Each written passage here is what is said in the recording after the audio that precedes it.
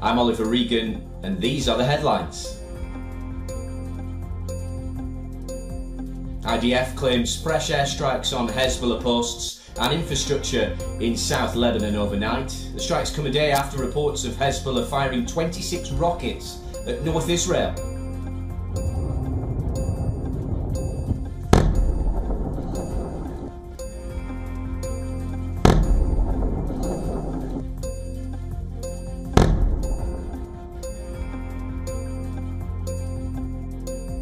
UK to start operations to detain asylum seekers on Monday, as per reports, in preparation for their deportation to Rwanda. This will be a quote, surprise two week exercise.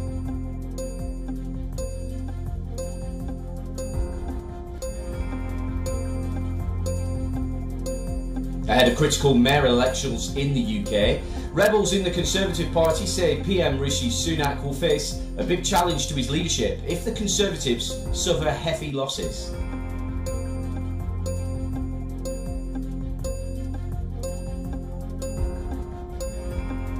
Scotland First Minister Humza Yousaf mulls resignation as the prospect of winning a vote of confidence becomes increasingly uncertain.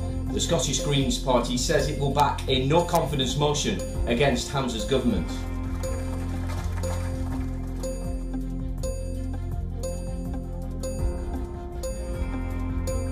France confirms Chinese President Xi Jinping will be on a state visit to the country on the 6th and 7th of May.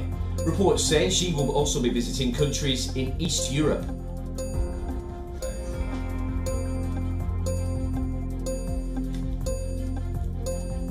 Israeli officials believe the ICC could charge Benjamin Netanyahu with violations related to the conflict with Hamas in Gaza Reports say the ICC arrest warrants could also extend to Hamas leaders in Gaza.